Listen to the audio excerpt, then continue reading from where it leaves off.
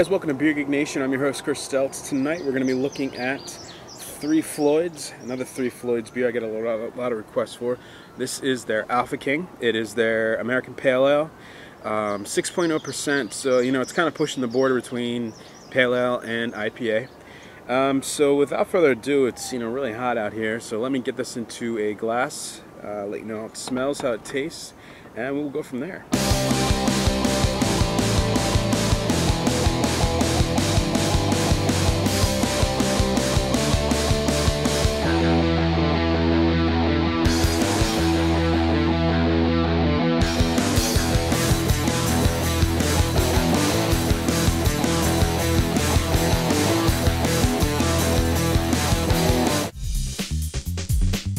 Okay, so the appearance on Three Floyd's Alpha King, um, you know, I, I kind of have to laugh because the the saying on the the six pack holder says it's not normal, and that about sums this beer up.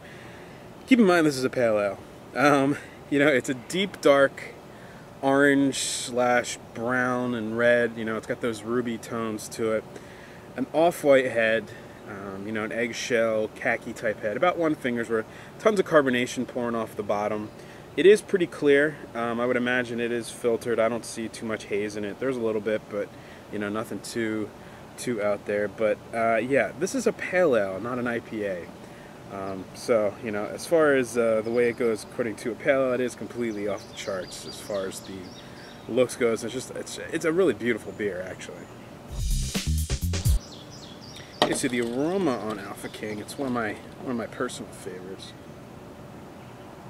Yeah, there's a ton of uh, uh, citrus to it, lemon, grapefruit, ton of grapefruit, orange peels in there, and then kind of at the back of at back of the nose, once it's you know kind of in your nasal cavity and all that, you get a lot of uh, sweet fruits, a lot of pininess to it. It's very West Coast smelling, but at the same time still being like a middle of the country kind of IPA aroma to it. And again, this is a pale ale, so you know I did just say that. Um, you do get some malts, and you do get actually a little bit of alcohol in it, which is always kind of surprising on this beer. It is six percent, but there is definitely kind of that um, you know that nose to it.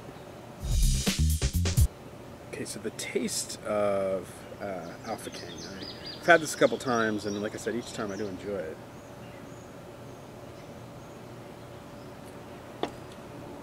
Yeah, such a, a solid drinkable beer, and that's really the best way to put it. Um, you know, tons of, you know, a huge amount of bitterness right up front in the mouth. Um, kind of fades into the back, and while it's fading, you're just getting slammed with grapefruit characteristics. I mean, it literally tastes like you're eating a piece of grapefruit. A little bit of orange zest, a little bit of uh, orange peel zest, a little bit of lemon zest in there a little bit of like a peach, mango, tropical fruit taste to it, a little bit of pininess, and there is definitely a malt backbone. There's a little bit of caramel, a little bit of toffiness, a little bit of roasted malt in there. Um, it just blends perfectly together, and it's just one of the easiest drinking, most sessionable beers that you know you're gonna find, and that's really why this beer is so popular. Okay, so the verdict on Alpha King from Three Floyds, it's